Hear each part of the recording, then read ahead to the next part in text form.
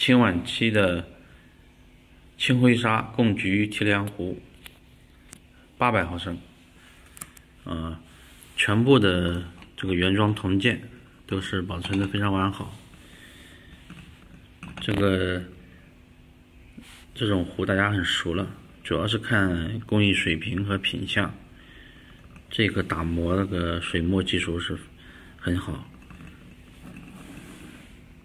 看起来像紫葡萄一样晶莹，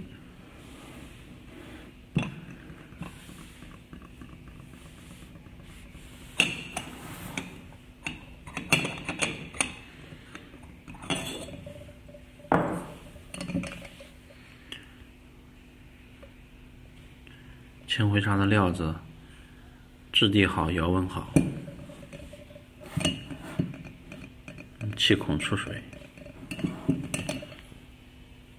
弧形是非常标准的，饱满圆润。盖墙呢有一点修，我们同我们来看一看啊，就是磕碰啊，把它修了起来。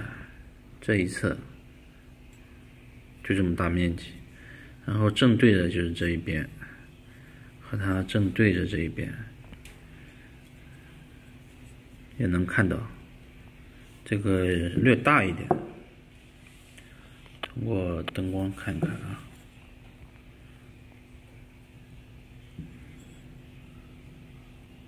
应该是各有一个磕牙，这边这边，然后把它呃修复起来的，啊，也不是大毛病。